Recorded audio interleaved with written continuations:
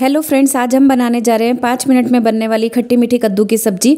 तो इसके लिए सबसे पहले हम कद्दू लेंगे, जितना बनाना है। उसका बीज वाला पार्ट हम इसका हटा देंगे और इसके पीछे जो है ग्रीन कलर की स्किन रहने देंगे और वाइट वाला पार्ट हटाकर अच्छे से दो बड़े टुकड़ों में काट लेंगे और धो लेंगे इसे। फिर हम एक कुकर में दो चम्मच ऑयल लेंगे और उसमें एक चम्मच जीरा तड़का लेंगे। जीरा भुनने के बाद हम इसमें आधा चम्मच मेथी दाना ऐड कर देंगे, उसे भी अच्छे से भून लेंगे। और मेथी दाना और जीरा भुनने के बाद हम इसमें कसी हुई अदरक और हरी मिर्च कतरी भी डाल देंगे।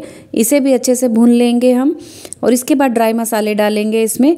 नमक, लाल मिर्च, हल्दी और धनिया पाउडर डालेंगे। उसे भी इसमें अच्छे से भून लेंगे हम और भूनने के बाद जो कद्दू हमने साफ़ करके काट के रखा है, उसे भी मिक्स कर देंगे।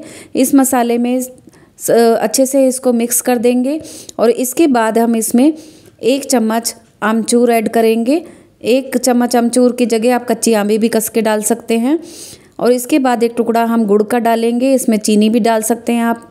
और इसके साथ ही दो चम्मच हम इसमें पानी डाल देंगे ताकि मसाले, गुड़ सब अच्छे से मिक्स हो जाएँ। और फिर इसके बाद कुकर बंद कर देंगे।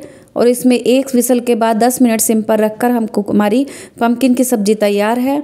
और इसके बाद इसे बनाइए और खिलाइए। बहुत ही टेस्टी लगती है ये सब्ज़ी।